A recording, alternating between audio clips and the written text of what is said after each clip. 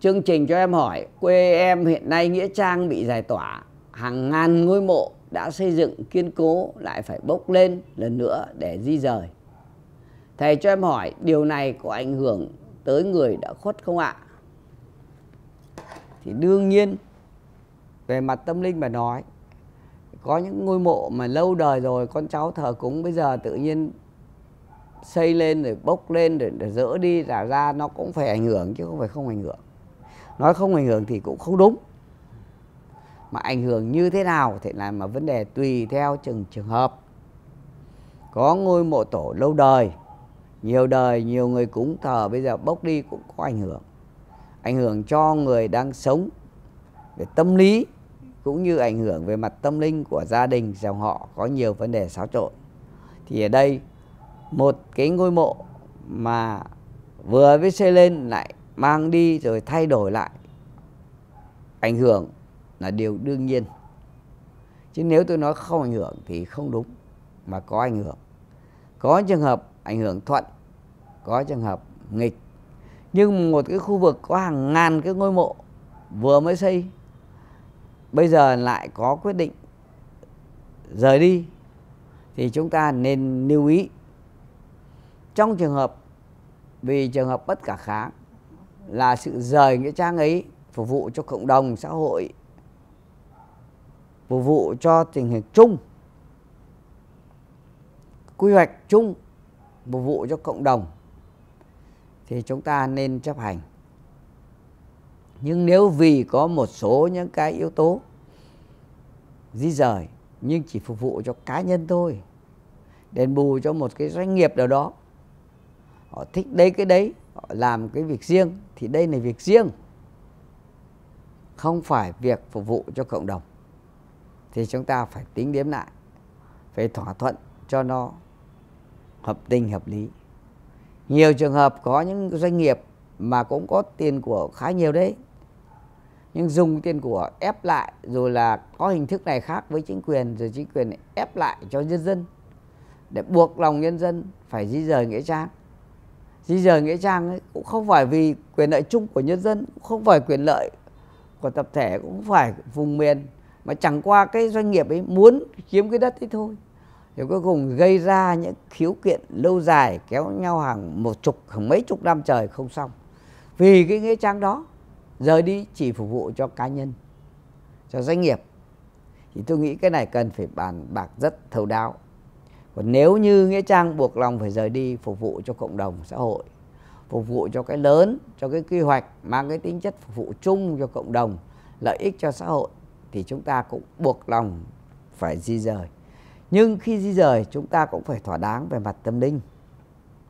Làm sao cho thuận cả phần âm và dương, tức là thuận cả. Làm sao cho những người đã khuất được mộ yên mà đẹp và được nghi thức cho nó long trọng. Còn những người trần gian con cháu cũng được đền bù thỏa đáng, tạo điều kiện cơ sở vật chất để di rời mồ mả ông cha. Bởi vì có những cái khu nghĩa trang hàng bao nhiêu trăm năm, thậm chí có nghĩa trang hàng nghìn năm, nhiều đời đã thờ cúng tại đó. Nhiều vấn đề tâm linh sẽ an ngự tại đó. Chúng ta di rời là chúng ta phải tính đến nhiều cái yếu tố có thể xảy ra. Thì ở đây như bạn hỏi, có ảnh hưởng gì không? Thì đương nhiên cũng có phải ảnh hưởng còn ảnh hưởng ở mức độ nào thì chúng ta phải tính. Cái việc di rời đó phục vụ cho tập thể, phục vụ cho cộng đồng, hay phục vụ cho cá nhân, một doanh nghiệp nào đó thì chúng ta phải tính cái ảnh hưởng đó, có cái mặt lợi và có mặt hại ờ, trong xã hội và cho cái vấn đề tâm linh. Chứ không phải không đâu. Có những ngôi đình, ngôi chùa, ngôi miếu mang đi, phá đi, làm lại không phải là điều đơn giản có những ngôi mộ hoặc có đình miếu mà nhiều trường hợp phá rỡ. Có những vướng mắc về mặt tâm linh, thậm chí có nhiều sự cố có thể xảy ra. Đợt tới chúng tôi cũng còn đang nhận một cái lời mời để đi xem một cái vùng ở điện biên. Có những cái cây to mà phá rỡ đi, những người nào tham gia chặt cây đều bị nạn rồi là cái đất đai đó, những người tham gia khai quật đất đấy đều bị hại. Vậy thì không biết hại vì cái yếu tố tâm linh hay yếu tố địa chất hay yếu tố vật lý, đấy có chất gì không, chúng ta cũng cần phải xem. Không kết luận vội vàng, nhưng chắc chắn sẽ có những vấn đề khác biệt. Hoặc là do phong thủy địa chất ở đấy có vấn đề, hay có chất phóng xạ, hay có yếu tố nào đó, hay là có yếu tố tâm linh, chúng ta cần phải xem xét lại nhưng chắc chắn sẽ có những thay đổi. Thay đổi đấy như thế nào, chúng ta cần phải nghiên cứu. Về ý nghĩa vật lý, về ý nghĩa sinh học và ý nghĩa tâm linh thì trả lời nó mới thỏa đáng. Như câu bạn hỏi rằng hàng nghìn cái ngôi mộ mới xây dựng rồi là được tôn tạo đàng hoàng bây giờ xá đi có ảnh hưởng không? Tôi nói có ảnh hưởng. Ảnh hưởng mức độ nào thì tùy theo trường hợp. Ảnh hưởng cả phần âm lẫn phần dương phần dương là gia đình tốn kém bỏ tiền của xây dựng. Có những gia đình mà xây dựng có những ngôi mộ dăm bảy trăm triệu có ngôi mộ xây dựng hàng tỷ đồng. Phá đi là một điều cũng rất là phiền toái. Chưa kể phần tâm linh như thế nào. Ấy thì chúng ta à, tôi nghĩ rằng cái trường hợp hàng ngàn ngôi mộ bị phá đi sẽ có ảnh hưởng đến cả một vùng miền dân cư cả tâm lý của người sống lẫn cái vấn đề tâm linh thì ảnh hưởng như thế nào?